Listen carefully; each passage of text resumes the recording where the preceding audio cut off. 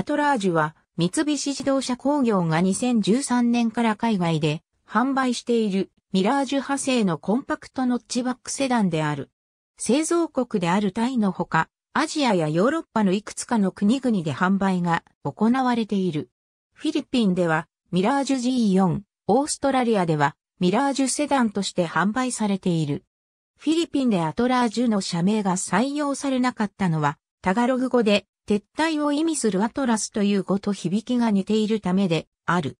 ミラージュのプラットフォームをベースに全長 535mm、ホイールベースを 100mm 延長して作られたコンパクトセダンである。社名は英語のアトラクティブを元にした造語である。ミラージュと同様にタイ政府のエコカー認定を取得しており、三菱モーターズタイランド第3工場で生産が行われる。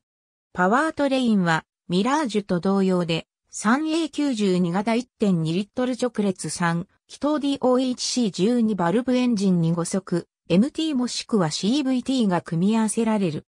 2013年3月25日のバンコク国際モーターショーにてグローバルコンパクトセダンの先行コンセプトがコンセプト G4 の名称で世界初公開される。同コンセプトは翌4月の上海モーターショーにも出展された。2013年5月21日、グローバルコンパクトセダンの社名がアトラージュに決定し、7月からタイで発売開始されることが発表された。2014年1月、モントリオール国際モーターショーにミラージュ G4 セダンが出展されることが発表された。2014年7月、三菱自動車はクライスラーメキシコ社に向けて本車種をベースにした車両を2014年11月より5年間供給することを発表した。この車両は内外装の一部を変更した上でダッチアティチュードとしてメキシコ国内で販売されている。